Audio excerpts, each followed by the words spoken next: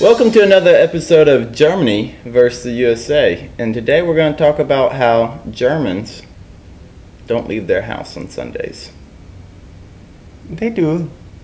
They don't. No, they do. They just don't go shopping because nothing is open.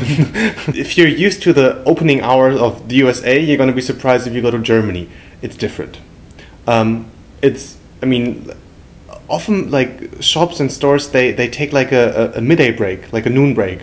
So Yeah. from like from like 12 to 2 or to 3, you can't buy anything. Especially the post office. Oh yeah, the post office likes to do that, yeah. And the banks, they like to do to close it. I mean, the banks' opening hours are horrible in Germany. Aren't they 9 to 2?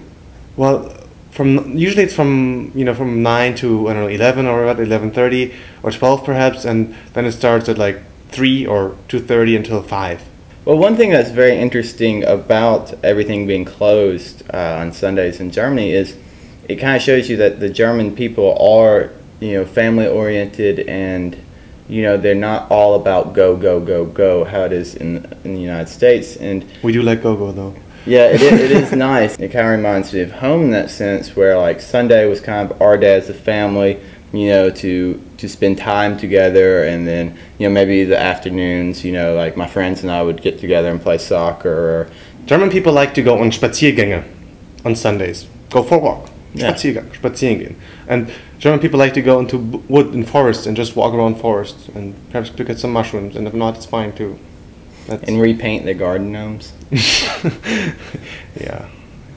I think there was actually like an opening hour law going on, and like a couple years ago in the parliament, they decided that shops and like businesses can open their stores as long as they want. Before that, they couldn't. They were not allowed to. It was forbidden by law.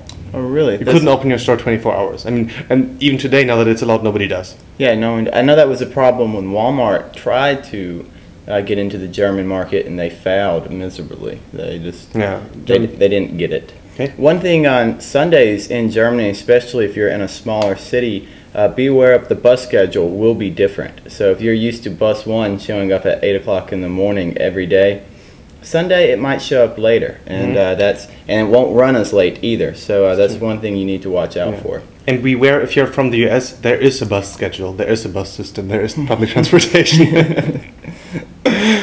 I need to go to the store because you know it will close in a second. Perhaps you take us by the people.